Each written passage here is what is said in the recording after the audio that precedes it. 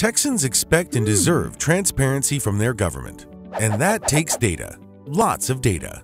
If you're like most Texas state agencies, city and county governments, universities, and school districts, you fulfill important public information requests that can sometimes take considerable time and resources to complete.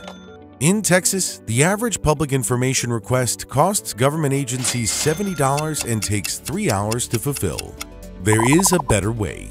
The Texas Open Data Portal empowers your constituents to access public-facing data on their own through an easy-to-use online platform.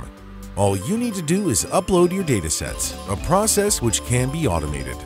The Texas Department of Information Resources can help you get started as part of our Shared Technology Services program.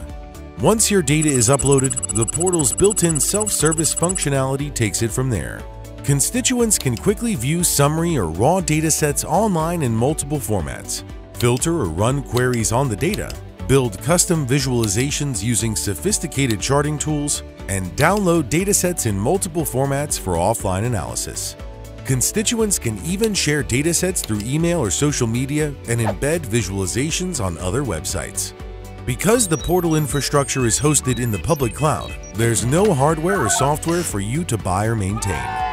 Best of all, the Texas Open Data Portal is completely free for you to use and for your constituents to access.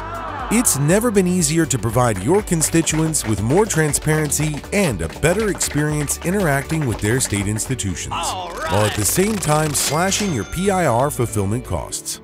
See the portal for yourself at data.texas.gov and let's get started.